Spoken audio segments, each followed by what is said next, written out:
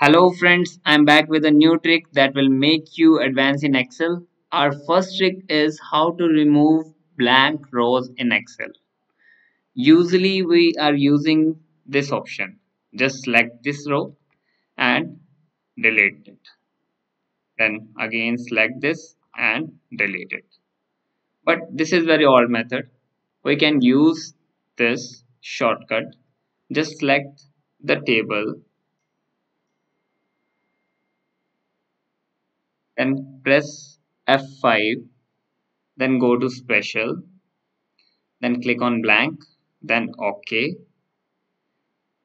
then control plus minus then click on entire row then press OK. Here you go you have removed the blank rows in Excel.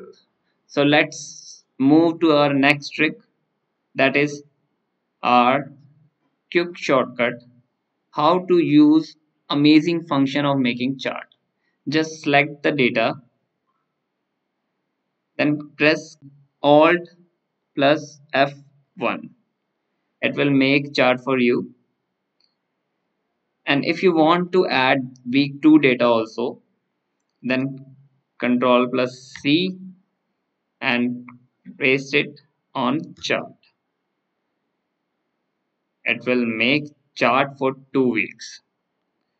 So let's move to our next trick that is barcode generator. How to generate barcode in Excel. As you see, if I write here, it will make barcode for you.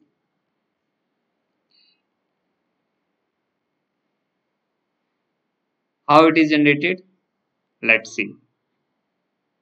First, you have to download one font that is Google font.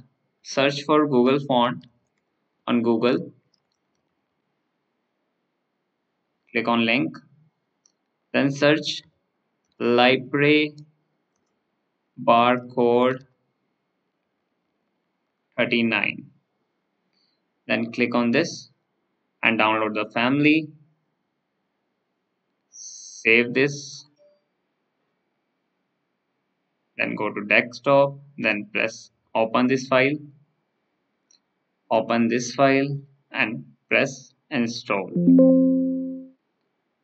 As I have already installed it I'm not going to install this again. Just go back to your excel sheet. Now we have to use one formula that is is equal to double quotes star double quotes and then select the product code. Then again and then double quotes then star then double quotes and then enter. Now you have to change the font. That is library code 39 now it changed to our barcode.